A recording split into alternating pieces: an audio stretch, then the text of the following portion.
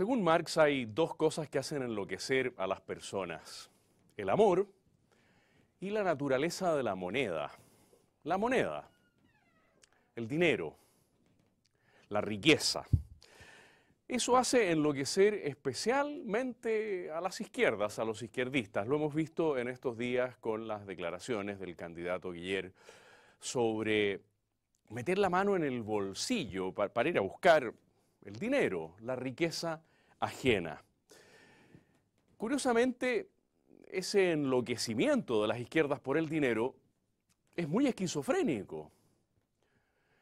La locura que experimentan es esa terrible, dolorosísima enfermedad que se llama esquizofrenia. ¿Por qué son esquizofrénicos los izquierdistas respecto del dinero? Primero porque la izquierda sabe muy bien cómo se produce la riqueza, el dinero, cómo se genera el aumento, el crecimiento. Lo sabe.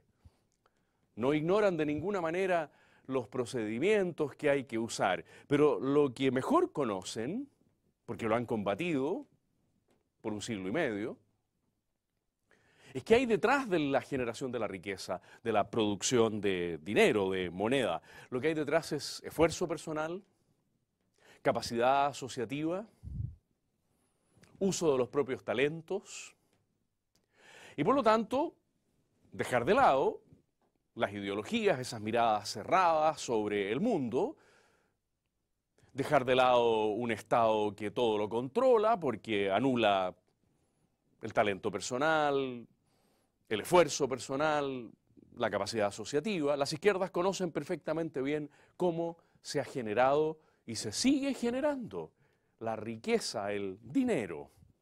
Pero son esquizofrénicas porque no pueden aceptar que ni el esfuerzo, ni el talento, ni la asociatividad sean modos de comportarse dignos, dado que son los que en realidad defienden las derechas y no las izquierdas. Entonces, por eso, claro, la izquierda tiene tendencia a meter la mano en el bolsillo de los que sí han generado la riqueza, porque sabe cómo se genera y dónde está la riqueza, en el bolsillo de aquellos.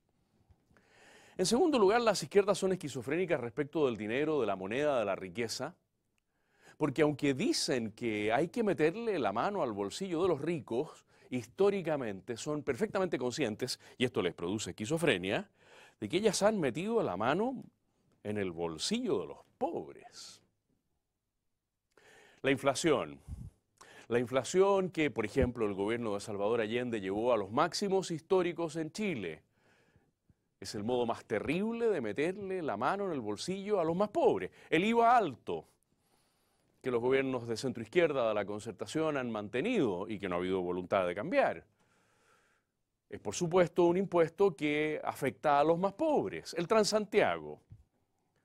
El Transantiago, que le saca dinero a todos los chilenos, por supuesto a los más pobres, para trasladarle a las empresas, porque a algunos frescolines, bastantes, no quieren pagar el pasaje.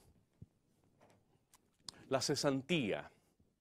Cuando las izquierdas producen frenazos económicos, cuando no hay crecimiento y se pierden decenas de miles y cientos de miles de trabajo, de puestos de trabajo, los que los pierden son habitualmente los más pobres. La izquierda, curiosamente, tiene esta esquizofrenia. Dice que hay que meterle la mano en el bolsillo a los más ricos, pero habitualmente le ha metido la mano en el bolsillo a los más pobres por estas vías indirectas y que a veces se perciben menos.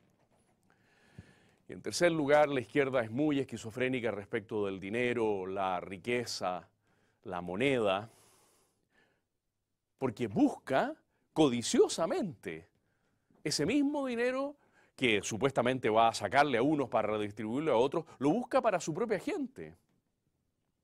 ¿Se acuerda usted de los sobresueldos? ¿Tiene usted presente los bonos que hay que pagar por eh, excelente rendimiento en materia de derechos humanos? ¿Se ha fijado usted cuál ha sido el aumento en remuneraciones y en insumos para el sector salud y cómo sigue de mal?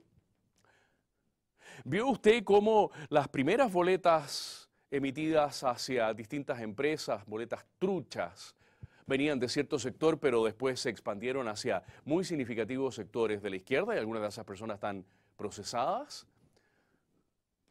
¿Recuerda la codicia que está implícita en el caso Cabal? ¿Es consciente o no es consciente usted del aumento notable en las plantas y sobre todo en las personas a honorarios que han producido los gobiernos de la concertación y ahora el último de la nueva mayoría? También la izquierda en ese sentido es esquizofrénica. Porque habla de la riqueza como un bien que pasa por sus manos y tiene que ir a parar a los pobres, pero que en realidad se queda en los bolsillos de muchos de los izquierdistas más connotados. La codicia es una pésima tendencia humana, pero si la codicia va asociada además a la esquizofrenia, estamos frente a un pecado del alma y también a un deterioro de la salud mental. Sería bueno que las izquierdas, en vez de tratar de meter la mano en el bolsillo ajeno, se pongan la mano en el corazón y reconozcan esta terrible esquizofrenia asociada a la codicia.